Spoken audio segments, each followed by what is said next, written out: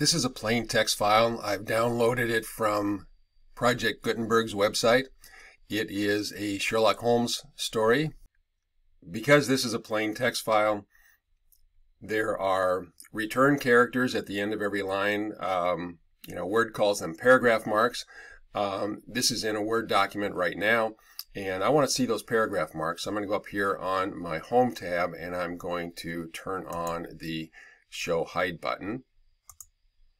And now I can see, I'm going to zoom in a little bit, I can see every place where somebody hit the enter key. Okay.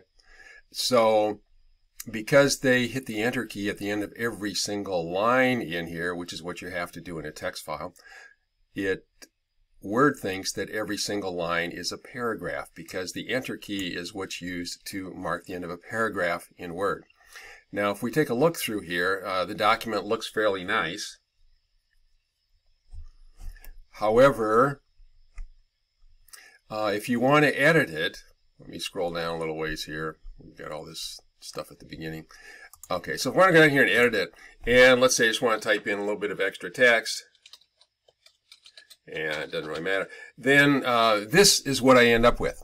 And now it doesn't look good anymore uh, because Word thinks that this is still one paragraph, and when it gets to the paragraph mark, it's supposed to go down to a new line. So if you have something that looks like this, and you would like to be able to pull it from some other source and bring it into Word so that you can edit it correctly in Word, then what you want to do is you want to make each one of these collections of lines that looks like a paragraph into a real paragraph.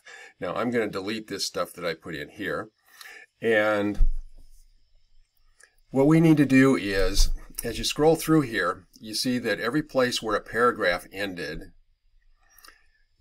there are actually two paragraph marks. So here's one, and here's one.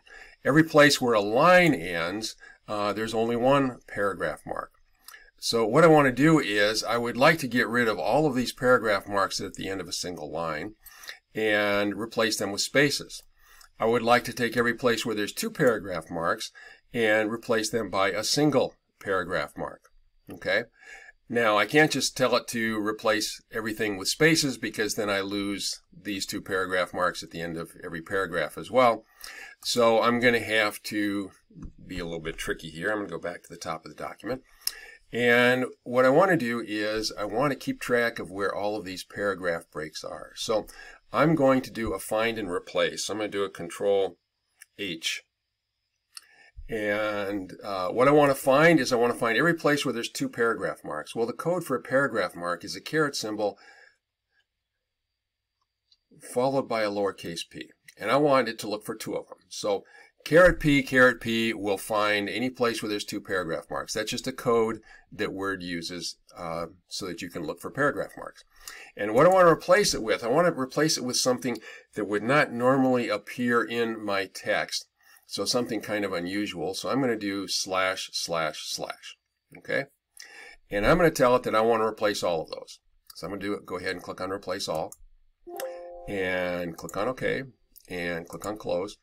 And now you can see I still have the paragraph. I need to scroll down a little bit here. So uh, where I've got some longer paragraphs. I've still got a single paragraph mark at the end of every line, and I've got three paragraph or three slashes at the end of every paragraph. Okay, well now what I can do is I can take the remaining paragraph marks, which I want to be replaced by spaces, and replace them with spaces. So I'm going to do another Control H to bring up my find and replace. And every place where there is a single paragraph mark, I want to replace that with not three slashes this time, but just a single space. So hit spacebar once, tell it to replace all.